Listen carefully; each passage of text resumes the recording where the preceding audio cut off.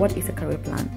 So a career plan is um, you reflect, you know, you think, and you come up with where you want to be as a nurse, where you want to get to, where do you want to see yourself. So you write that down. I always say, don't just think about it, put it down on paper. Get a pen, write it down. You know, write it down on a piece of paper.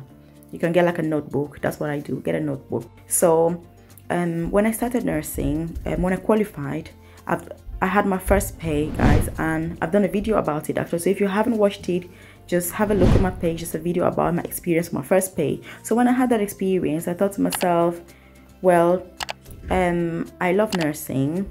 I know that I'm in this long term. Yes, I don't want to do anything else, but I've got to find a more sustainable way of being in this long term since this is what I want.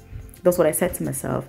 And one of the first things that I did, well, I did a few things before, but they were just getting me really stressed out, really burnt out.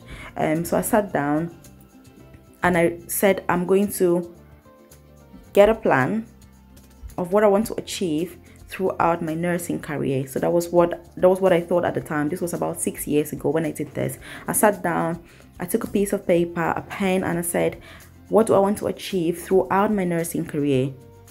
And I said, okay, I would like to be a nurse consultant. That was what I wanted. That's you know six years ago. I thought, well, I like to be, you know, would like to be a nurse consultant. So I wrote it down on a piece of paper, and I had about I came up with about eight points, so eight bullet points, and obviously the final one was being a nurse consultant, and then the other seven points were just things that I had to achieve to get me to that consultancy post and things that I had to achieve even in my own personal life for me to be a happy nurse. That you know that was a way that I thought about it at the time. So I wrote all these eight bullet points down um of how I would achieve it and what I would do and where I would need to work. And then obviously I just kind of expanded um on that.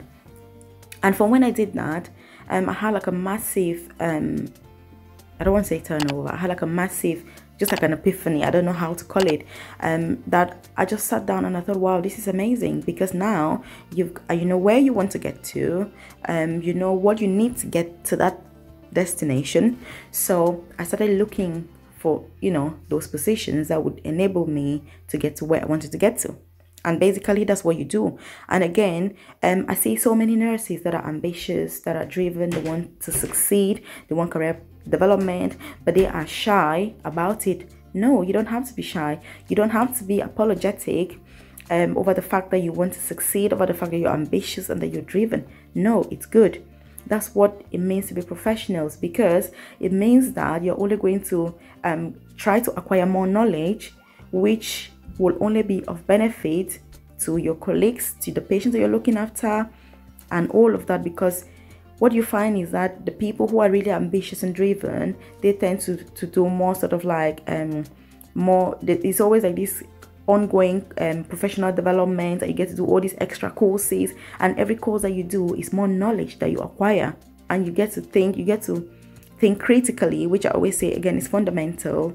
If you want to succeed you've got to have the ability to think critically. So look at something and say for example where you're working you have to sit down and say which is you know these are all involved in your career plan. Because where you're working once you've done your plan you sit down and you say okay i'm working on this sort of award. My career plan i would like to achieve this. If i carry on working here am i able to achieve my objectives? Am i able to achieve these um, competencies? So you've got to do that. And if you find that you're currently working in an area that will not enable you to have those um, those skills and those objectives that you're having, then it's worth considering maybe moving to another area. Because again, I see so many colleagues who are working um, on a particular ward or in a particular area because they've got friends there, or because they're getting on with the manager, or because um, no, you know, yes, it's good to have a good um it's good to have a good relationship with your colleagues obviously but you've got to have a plan. You've got to have something bigger that you want to achieve. And i think if you think nursing long term that's what is going to make you to overcome all those daily difficulties that we have you know as as, as nurses is looking at your long-term goals and saying well i may be going through this difficulty now but i've got something bigger that i'm trying to get to. And that is what personally that is the sort of thing that keeps you going. And i think that if you can achieve this you know personally it's something that you have to achieve you know personally. If you can achieve that you find that you can reduce your levels of burnout or the possibility of burnout significantly. Because like me from when every time that you move from one step you know every time that you achieve that bullet point and you move to the next the sort of satisfaction that you get the sort of transformation you know that you get the sort of the accomplishments you know that you you you feel it's amazing just an amazing feeling. And but you can only know that you can only trace that progress. You can only look back on that progress when you have that plan. You know many of us are working on autopilot we're running our careers on autopilot. And guys this is a dangerous way of of doing things because yes you may be lucky to succeed but 90 you know the probability is higher that you're unlikely to succeed you know working that way because you've got to have a plan. You've got to plan your moves meticulously. You've got to know that okay this position what am i getting out of this?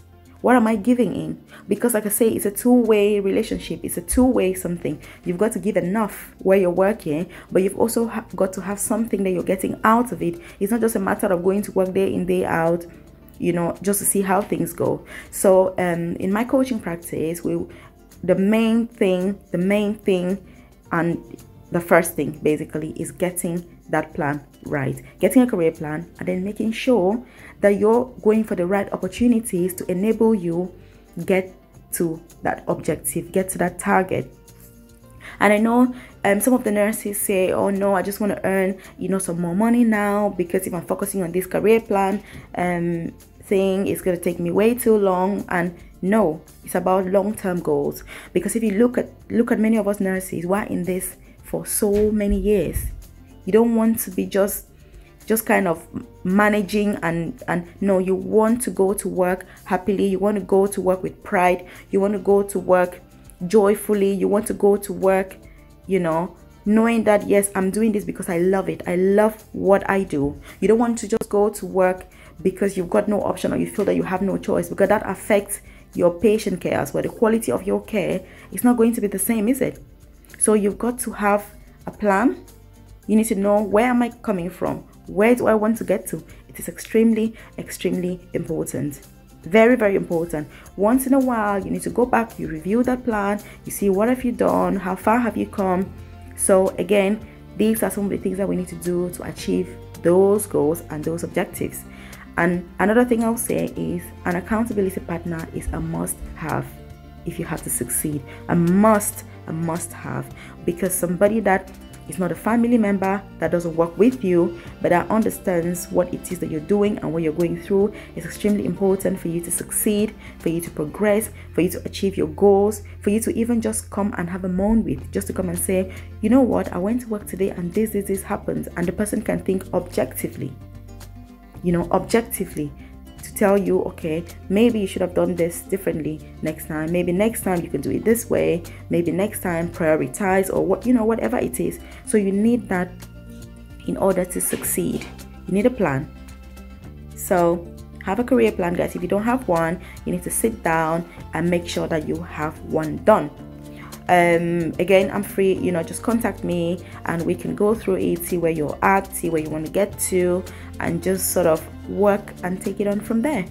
So thank you so much for listening. Do have a good day and stay safe. Bye